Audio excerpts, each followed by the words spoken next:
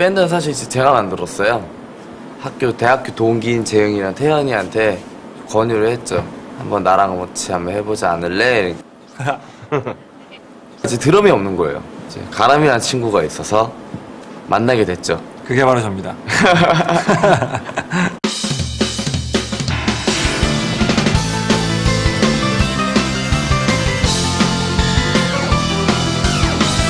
같은 경우에는 이제 파워 코드만 잡고 찍만 해도 일단은 그 전율이 일단은 장난이 아니잖아요. 근데 건반은 그렇게 잡으면 안 되고 온갖 힘을 세게 내리쳐가지고 그렇게 해야지 안 그러면 안 나오거든요.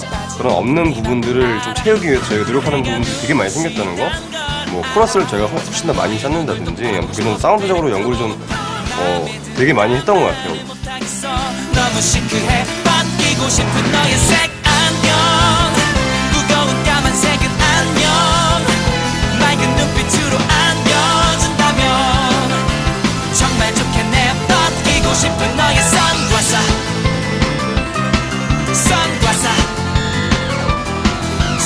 비틀즈 음악은 비틀즈 음악으로 저희가 충분히 얘기를 하고 이렇게 소통을 하잖아요. 그런 것처럼 딕펑스 음악이라는 얘기를 가장 많이 듣고 싶거든요.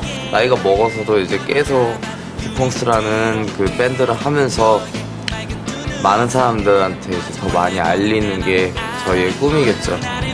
지금 하고 있는 게 그냥 꿈이에요, 저희가.